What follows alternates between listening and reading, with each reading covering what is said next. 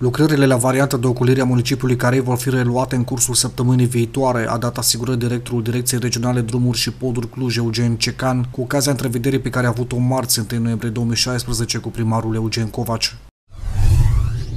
Fotoclubul Vasile Veinic Laslo din care organizează cel mai important eveniment de artă fotografică din acest an, în cadrul manifestărilor dedicate artei fotografice din această toamnă, sâmbătă 5 noiembrie 2016, începând cu ora 16, în sala Cavalerilor a Castelului Caroi din municipiul care va avea lugar de premiere și deschiderea expoziției de fotografie din cadrul cele de-a treia ediție a Salonului Internațional de Artă Fotografică Vasile Veinic Laslo.